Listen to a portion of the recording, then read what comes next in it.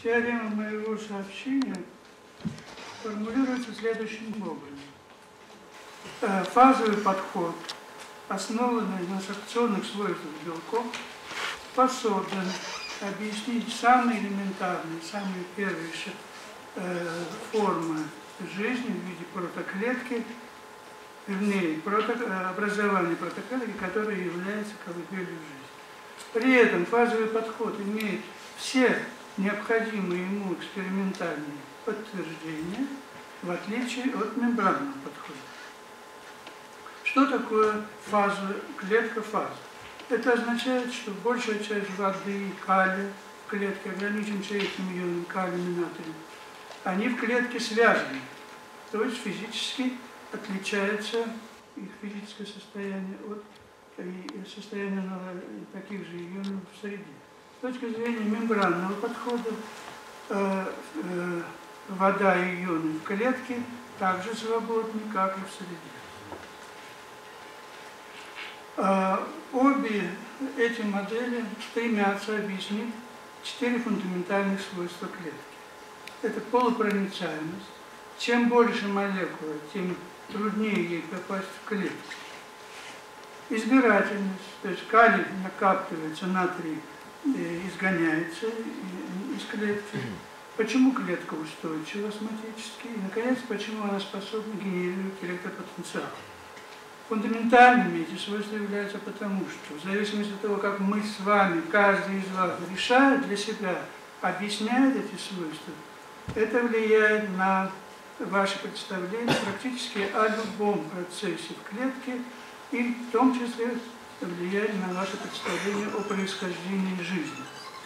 Э, поскольку речь идет ведь о живых клетках, то э, протоклетка, колыбель жизни, обязана иметь те же фундаментальные свойства, что, я, что здесь показано. Э, стандартная модель мембранная, мембрана, липидным слоем и многочисленными белковыми включениями, каналами и насосами. При таком подходе происхождение жизни сводится по существу происхождению живой мембраны. Э, фазовые, э, с точки зрения фазовой модели, ключевым событием происхождения жизни является появление пептида, полипептида, белка. А, потому что э, как только он появляется, свойственный ему абсорбционный способность абсорбировать включается, начинает функционировать. Почему э, я говорю о том, что там вода и камень связаны? Так вот, только появляется полипептид, он сразу начинает связывать воду и камень. Почему это происходит? Потому что, невзирая на все разнообразие белков, у всех у них есть общая структура. Это полипептидный росток, который представляет из себя закономерное, геометрически правильное, ну, правильное чередование диполей, положительных и отрицательных. Э, э, взаимодействовать с, э, с этими группами, учитывая еще исторические условия, это создает необходимые условия для абсорбции воды на полипептидном основе белка. Вода и при переходе из газовой среды в жидкую, ее антипольный момент возрастает на 60%. Это, естественно, связано с тем, что в жидкой фазе диполь-дипольные взаимодействия, вода взаимодействует с водой, это поляризует молекулу э, воды и, следовательно, возрастает ее дипольный момент. Но э, э, интересно то, что в пептидной группе имеется функциональные, пептидные связи, имеются функциональные группы, которые имеют больше дипольный момент, чем вода, вода например, у карбонильной группы на 46% дипольный момент больше. У пептидной группы тоже есть дипольный момент, который почти вдвое больше, чем дипольный момент воды. Естественно, что молекулы воды будут а, активно взаимодействовать с такими диполями, поляризоваться, соответственно, и э, в адсорбционном слое будет возникать два фактора стабильности. Первый – это взаимодействие с сильными диполями пептидной группы и возросшие по силе э, водородные связи, возникающие между молекулами воды, которые поляризовались под действием сильных диполей белка. Э, если э, в белке есть участки, которые, подвективный стоп, который открыт, взаимодействие растворителя, будет образовываться абсорбционные слои воды. Если же по пептидной связи, группировки пептидной связи участвуют в стабилизации вторичных структур, они уходят от взаимодействия с водой, и на таких структурах вода не адсорбируется. Таким образом, мы приходим к такой э, структуре э, биофазосом, как я называю. Это белок с вытянутой конформацией, многослойная адсорбционная фаза воды с упроченными водородными связями по сравнению с объемами.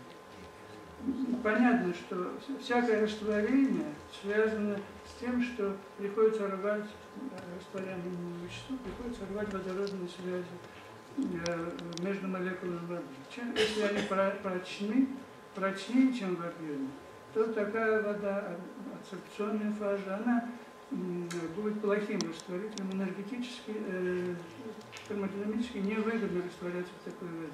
Все, что растворено в такой фазе, будет выталкиваться из нее, и чем больше э, частиц, как натрий, например, тем активнее и быстрее проходить выталкивание.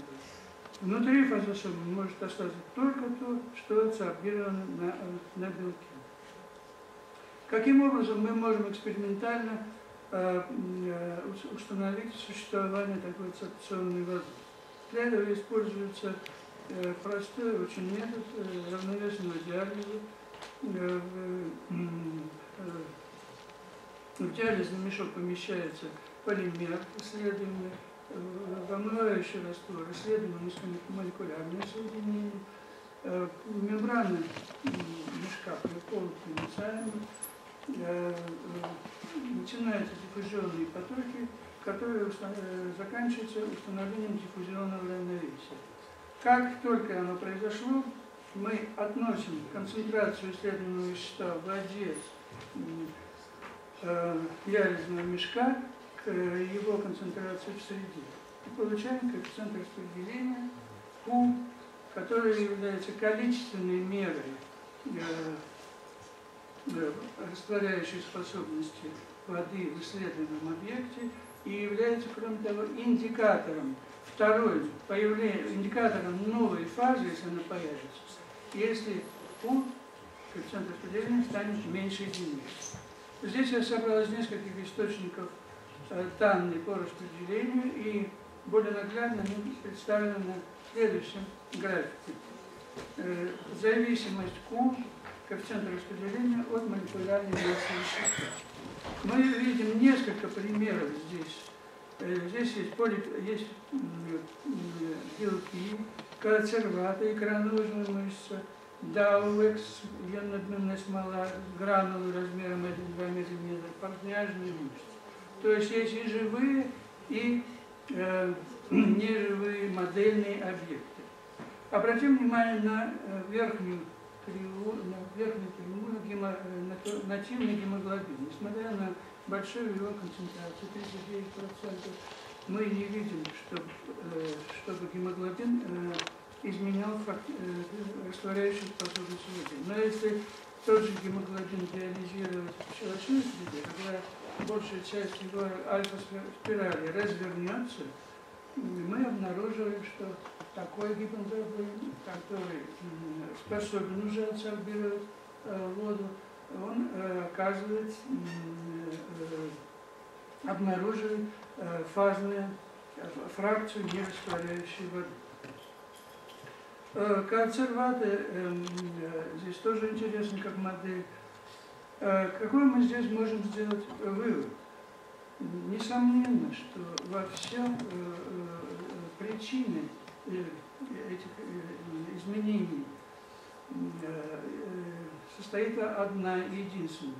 Э, это, это физический, единый, единый физический фактор действует во всех системах, который является именно э, появлением фазы нерастворяющей воды. И тут барьерная функция живой мембраны, которую так часто говорят, никакого отношения к полупроницаемости, как видите, не имеет.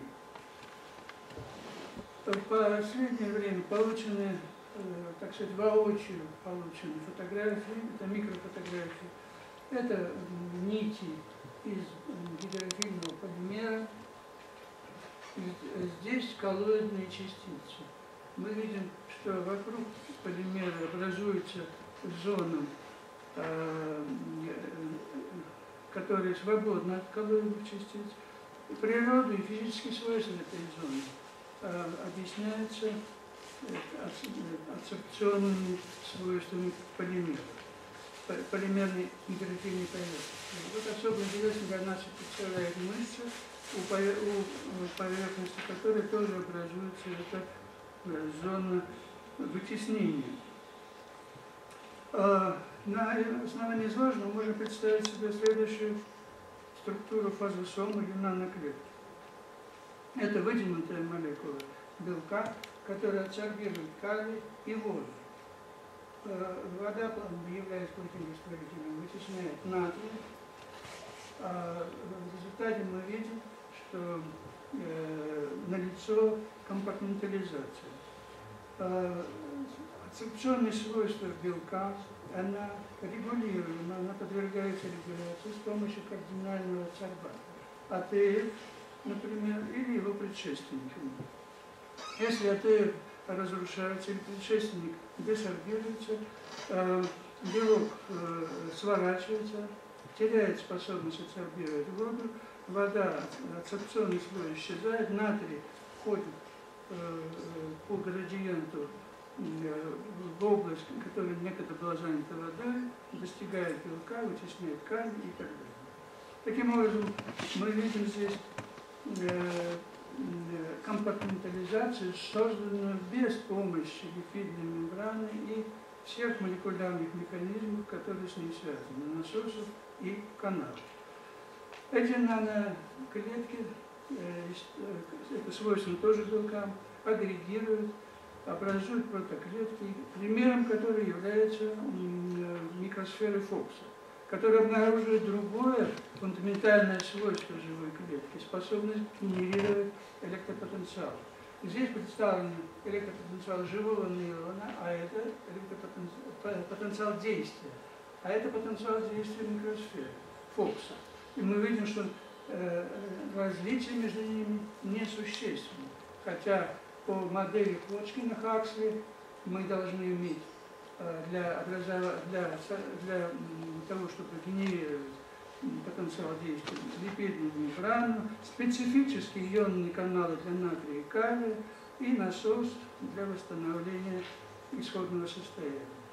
Ничего подобного в микросфере Фокса нет, но тем не менее он генерирует эти потенциалы действия. Справа показано Э, спонтанное э, изменение э, сопротивления, проводимости микросферы, полученные микроэлектродом внутриклеточным, внутримикросферным отведением. Когда мы такие картинки, подобные картинки получаем для живой мышцы, мы говорим о том, что речь идет о каналах, которые спонтанно открываются и закрываются, на каналы в липидной мембране, как э, понятно, что в микросфере Фокса ничего подобного нет, нет липидов, нет э, э, специфических каналов. Что такое микросфера Фокса? Все, что мы, что, все, что я сейчас сказал, все, что вы услышали, можно опровергнуть только одним способом. Предложить другой способ формирования, появления в клетке э, э, не, растворяющей фракции воды. Поскольку мы на картинке, первой большой картинке с разными кривыми видели, что э, явление полупроницаемости свойственно и модельным, и живым клеткам, А микросферы Фокса показали нам, что это, эм, и, второе, и другое важнейшее э, фундаментальное физическое свойство клетки, э, способность генерировать электропотенциалы, э, способна э, этому микросфере Фокса, то отсюда напрашивается простой, ну не простой, но вывод, что первая э, протоклетка, которая явилась предшественником или родоначальником жизни, должна была иметь те же фундаментальные физические свойства, о которых я говорил, и на протяжении эволюции они не изменялись. Они оставались прежними э, и, э, и миллиарды лет назад и сейчас. Теперь сопоставим, что мы, э, как соответствует модели, представленной мембранной фазы, экспериментальным данным. У мембранной модели мы видим, что отсутствует совершенно экспериментально, не подтверждена возможность самовозникновения, самосинтеза, само, как чего хотите, появления э, натрия-калиевого насоса, который для мембран, с точки зрения мембраны, э, мембранного подхода критически необходим. Не, не показано самопроизвольное возникновение высокоспецифичных ионных каналов. Э, спонтанная сборка, спонтанная сборка такой сложной структуры, как мембрана, сплоченные в нее э, каналами, насосами, все это должно произойти было миллиарды лет назад самопроизвольно. Это тоже никто не показал еще. И, наконец, спонтанного формирования системы непрерывного снабжения энергии э, такого насоса, который требует насос, тоже не показан. С другой стороны, фазовый подход. Аминокислотное э, самообразование спонтанных аминокислот показано, полипептидов показано. Полипептидные Полипептиды э, организуются в протоклетке, это мы знаем и по э, микросферам Фокса, и по другим моделям клетки. Э, полимолекулярная абсорбция воды, которая играет важную роль, как, как мы все видели, тоже показана.